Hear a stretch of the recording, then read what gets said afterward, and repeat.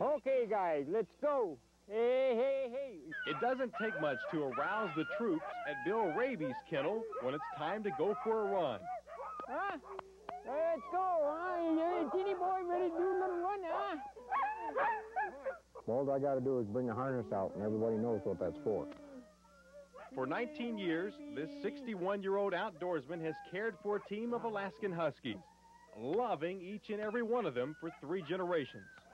The thing is, you got to like them 365 days a year.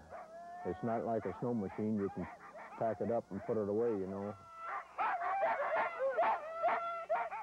When everyone's in place, Ben and Abe in back, Guy and Silva in the middle,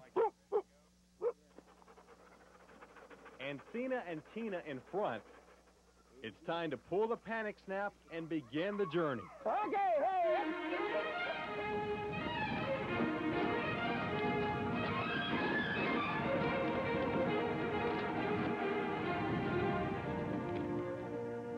There's nothing there but you and the dogs. You don't hear any noise. Everything's quiet as quiet as can be. I've come a lot of times. I've come right up on deer. With a resemblance of Santa and his reindeer, Bill dashes through the snow of the puppy-padded trails in the valley near his Battle Creek home. He practices in this huge field at least twice a week, preparing for one of his many weekend races that carries him all over the Midwest. He can run this course in about 15 minutes, reaching speeds of 20 miles an hour.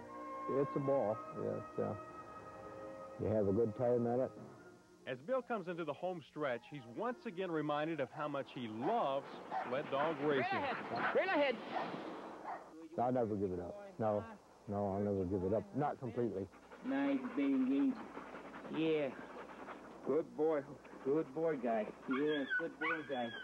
Silver, you done all right. Yeah.